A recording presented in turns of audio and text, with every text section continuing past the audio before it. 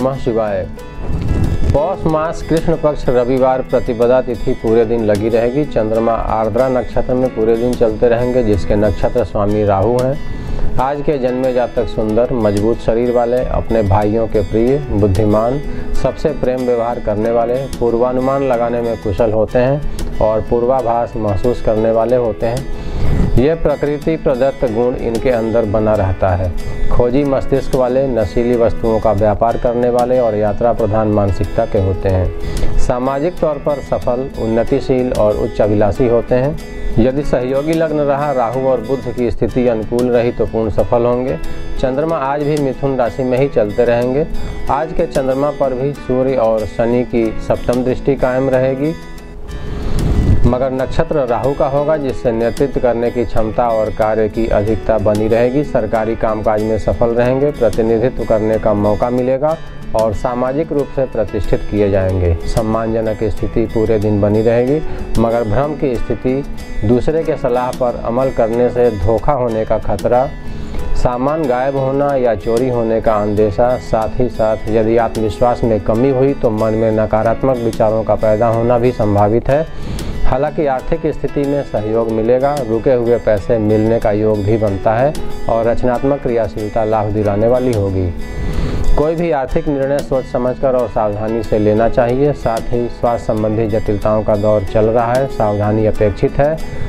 आज रविवार है और राहु का नक्षत्र है, अतः आज के दिन किसी से उधार या ऋण नहीं लेना चाहिए। ना ही ऋण के रूप में कोई सामान ही लेना चाहिए। अन्यथा कीमत चुकता करने में परेशानी महसूस होगी।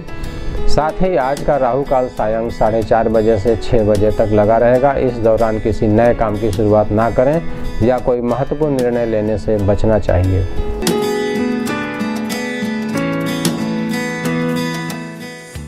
मेष राशि के जातकों के लिए चंद्रमा आज पराक्रम भाव में चल रहे हैं। सार्थक पहल जारी रहेगा। हर काम करने में उत्साह की स्थिति बनी रहेगी। बौद्धिक क्षमता में वृद्धि होगी और तर्क शक्ति का इस्तेमाल लाभदायक रहेगा। सरकारी योजनाएँ सुचारू ढंग से चलती रहेंगी। मगर माँ के स्वास्थ्य की चिंता, सामान गायब होना या चोरी होने का अंदेशा और भ्रमात्मक स्थिति का सामना भी करना पड़ सकता है। हालाँकि आर्थिक पक्ष मज़बूत रहेगा, साझेदारी लाभदायक रहेगी, शिक्षा प्रतियोगिता के लिए समय अनुकूल है। वैवाहिक मामलों में सफलता मिलेगी, अभिष्ट मित्रों से मुलाकात होगी और विद्यार्थियों के लिए आज का दिन सफलतादायक सिद्ध होगा।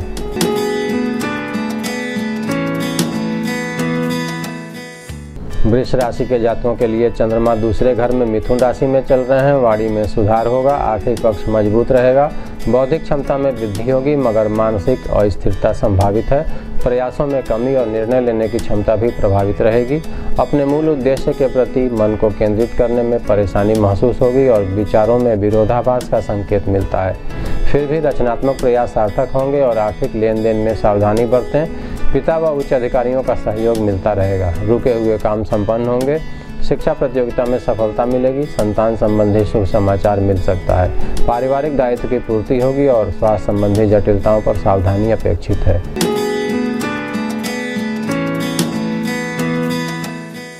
मिथुन राशि के जातकों की रचनात्मक क्रियाशीलता बनी रहेगी। नेतृत्व करने की क्षमता विकसित होगी। कुछ अतिरिक्त ज़िम्मेदारी का निर्वहन करना पड़ सकता है।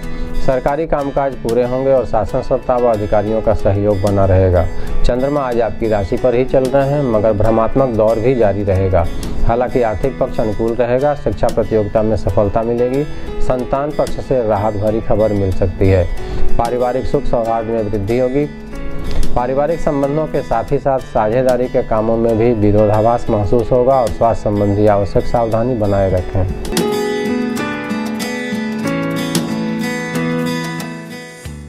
कर्क राशि के जातकों के लिए चंद्रमा आज बारहवें घर में मिथुन राशि में चल रहे हैं। सामाजिक व व्यावसायिक पक्ष मज़बूत रहेगा। आपकी अतिरिक्त ज़िम्मेदारी, सक्रियता और ऊर्जा स्तर हर काम में सफलता दिलाएँगे। मगर दोषारोपण की संभावना और संतान संबंधी मामलों में विरोधाभास और अनावश्यक चिंता बनी रहेगी। शिक्षा प्रतियोगिता के लिए सार्थक प्रयास जारी रखें। अच्छे कामों में खर्च संभव है। भूमि, वाहन या प्रॉपर्टी इत्यादि के लिए अनुकूलता बनी रहेगी। न्यायालय या वाद विवाद संबंधी मामले आज के लिए अनुकूल रहेंगे। छोटी यात्रा या प्रवास की स्थिति बनी हुई है और परिवारजनों के स्वास्थ्य पर ध्यान देना चाहिए।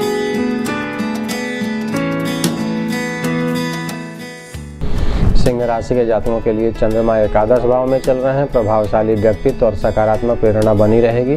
व्यावसायिक साझेदारी में लाभ संभव है। आर्थिक मामलों में सावधानी अपेक्षित है। आय के संसाधनों में वृद्धि होगी। भविष्य की योजनाओं में निवेश के लिए समय अनुकूल है। संतान संबंधी चिंताओं में कमी आएगी। वैवाहिक प्रयास फलीभूत होंगे। पारिवारिक दायित्व की पूर्ति होगी, मगर मानसिक उलझने और भ्रम की स्थिति संभावित है। कुछ मामलों में अनावश्यक रुकावट व अड़चने भी पैदा हो सकती हैं। विद्यार्थियों के लिए आज का दिन मेहनत वाला होगा। प्रयास जारी रखें और वाहन सावधानी से चलाएँ।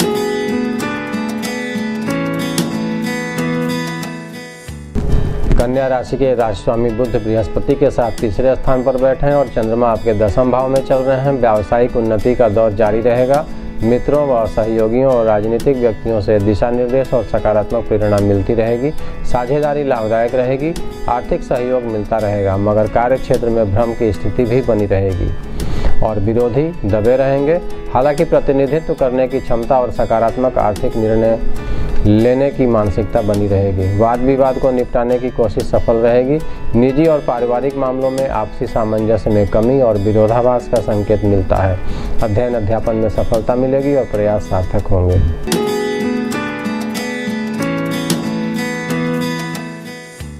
तुला राशि के जातकों के लिए चंद्रमा भाग्य भाव में चल रहे हैं और राहु के नक्षत्र में है। धार्मिक प्रवृत्ति बढ़ेगी, मगर अचानक बाधा संभव है।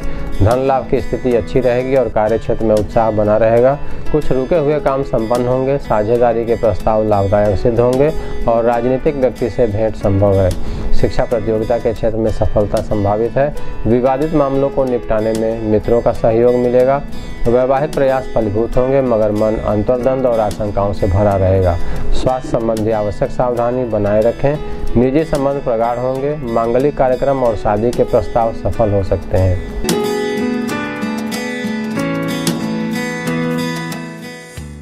वृश्चिक राशि वाले जातकों के लिए चंद्रमा आठवें घर में चल रहे हैं। सकारात्मक कार्य ऊर्जा का सहयोग बना रहेगा, मगर महत्वपूर्ण निर्णय सोच समझ कर लेना चाहिए।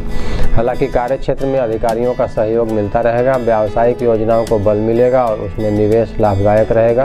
हालाँकि कुछ कामों में रुकावट का संकेत भी मिलता है। संतान संबंधी दायित्व की पूर्ति होगी, नए रिश्ते का प्रस्ताव मिल सकता है। निजी रिश्तों में विरोधाभास की संभावना बनती है। नकारात्मक विचारों वाले लोगों से दूरी बनाकर रखें और छोटी यात्रा या प्रवास संभावित है। साथ ही वाहन सावधानी से चलाएँ।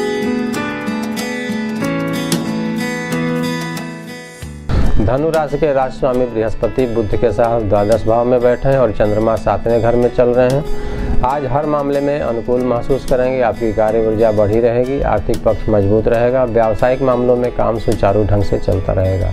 साझेदारी में सावधानी अपेक्षित है, नई कार्य योजनाओं के प्रति समय अनुकूल है। रुके हुए सरकारी कामकाज पूरे होंगे और आवश्यक संसाधनों को बल मिलेगा। शिक्षा प्रतियोगिता के क्षेत्र में समय अनुकूल है। संतान पक्ष से सुखद समाचार मिल सकता है। निजी संबंध प्रगाढ़ होंगे और वैवाहिक प्रस्ताव अनुकूल रहेंगे।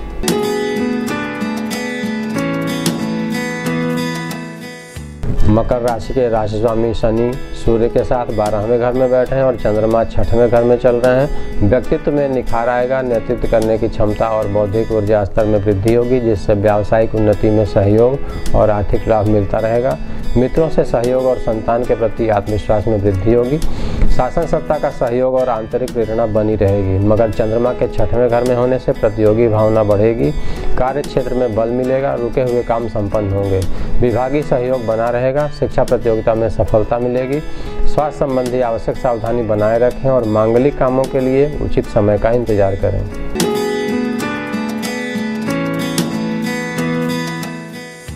कुंभ राशि के राशि स्वामी शनि एकादश भाव में बैठे हैं और चंद्रमा पाँचवें घर में चल रहे हैं। स्वास्थ्य संबंधी उतार चढ़ाव और आत्मविश्वास में भ्रमात्मक स्थिति संभावित है, मगर व्यावसायिक पक्ष मज़बूत रहेगा और भाग्यवश कुछ काम संपन्न होंगे। शासन सत्ता व अधिकारियों का सहयोग मिलता रहेगा। नई कार्य योजनाओं के प्रति आपका प्रयास सफल हो सकता है। विरोधियों से सावधानी अपेक्षित है। संतान संबंधी शुभ समाचार मिल सकता है, मगर विरोधाभास की संभावना भी बनती है। शिक्षा प्रतियोगिता में प्रयास जारी रखें। आवश्यक संसाधनों में वृद्धि होगी। परिवार में हर्ष और प्रसन्नता का माहौल बना रहेगा और वैवाहिक मामले फलीभूत होंगे।